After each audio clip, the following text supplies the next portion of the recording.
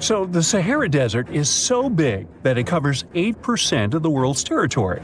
It's bigger than the USA or China. Surprisingly, the Sahara is not the largest desert in the world. It is the third largest, behind Antarctica and the Arctic. But it is definitely the hottest one. Temperatures there reach 136 degrees Fahrenheit. This place has some of the most incredible sand dunes you've ever seen, towering up to 1,476 feet. But here's the kicker there's a real risk that these dunes might continue to spread until they cover the entire world. Surprisingly, the influence of the Sahara Desert extends far beyond its borders. Its dust, carried by powerful winds, makes its way to the UK and across the European continent, particularly in winter. This dust settling on the ground where it rains is a familiar sight to those in the UK, often leaving a red residue on cars. This connection between the Sahara, England, and Europe serves as a stark reminder of the global reach of environmental phenomena. You might think this is not a big deal, but it could turn Europe into a desert, leaving its soil infertile and Europeans with no food. Soil is a fundamental aspect of human existence, just as crucial as clean water and air. Without it, we're left with nothing but a bleak and barren landscape. The Sahara Desert has already made its jump across the Mediterranean Sea, which is concerning and could change the landscape forever. One fifth of Spain has already turned into a desert. The next victim is Italy, which also faces the problem of desertification. In fact, almost all European countries have the same issue. According to an expert, the land that has not changed for nearly 2,000 years will become mostly rock, and people living on this land will be gone. 60% of the soil in Moldova is gone, and the problem has expanded beyond the Black Sea. It has reached China and Mongolia, thousands of miles away from the Sahara Desert. All of this causes losses of $4 billion a year, the threat is so significant that even the UN has gathered the necessary resources to solve the problem as soon as possible. Italy is sending help to Africa to stop the Sahara Desert from expanding. If this process does not stop in the next 10 years, millions will be forced to leave their homes. The Sahara Desert is growing for approximately 30 miles per decade. You do the math and see how long it will take to cover Europe. Since 1920, the Sahara has expanded by around 10%. But not all hope is lost because more than 172 countries have joined to put a stop to the desertification of the world.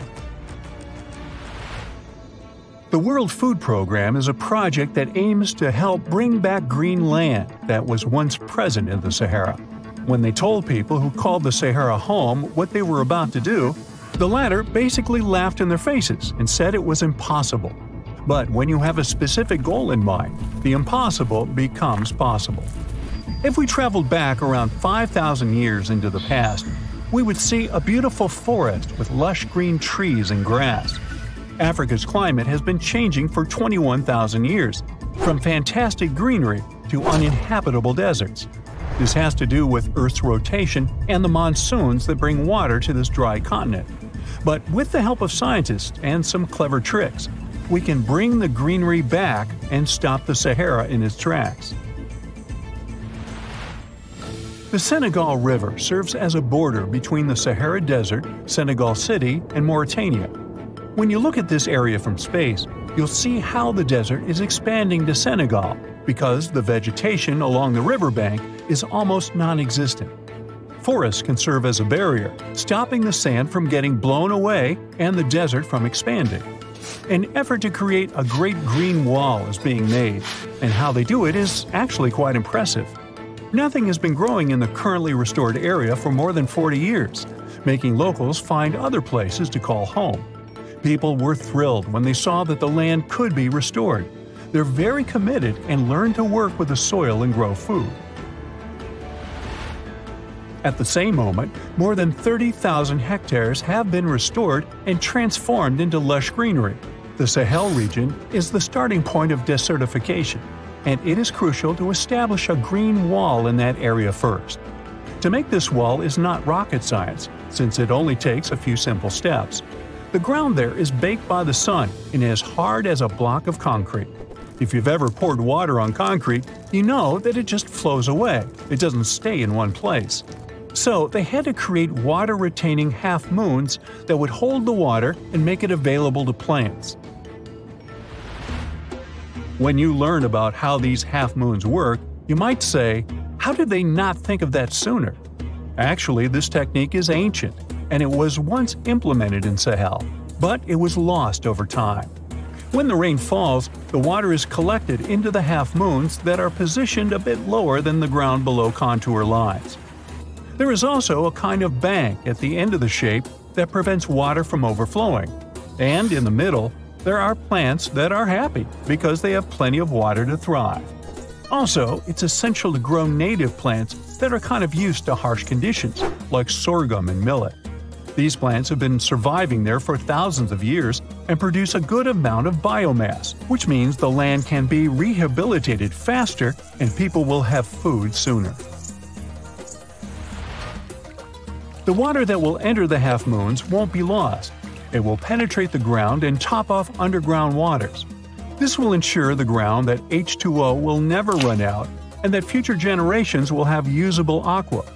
This brilliant planting technique is not limited to half moons. People also create lines and plant various vegetables, such as tomatoes. Next, there are places only for trees, like lemons or oranges. After a long hot day, nothing is better than a freshly made cold lemonade. The trees will also protect the soil, and with some luck, there will be a new forest in the Sahara Desert. The goal is to copy the forest dynamic. Start with small plants and gradually expand to bigger plants that are more useful than the tiny ones. They are aiming to plant more than 10,000 trees. Right now, Many people are leaving the Sahara after the rainy season, going to cities or leaving Africa altogether. At this time of year, villages are like ghost towns. Only animals can be found there. Most people are gone. I mean, who would blame them? Nobody wants to live in the sand where nothing grows. Luckily, with all this new, old technology being developed, many people are slowly but surely returning to their land and starting to work in agriculture. The best thing is that there are no brutal winters, so plants grow 12 months a year, and people can always have food. People are becoming more social because now everybody stays in their villages and doesn't travel much. If this project works out, Africa will be saved and the world won't turn into a giant desert. That's it for today. So hey, if you pacified your curiosity, then give the video a like and share it with your friends. Or if you want more, just click on these videos and stay on the bright side.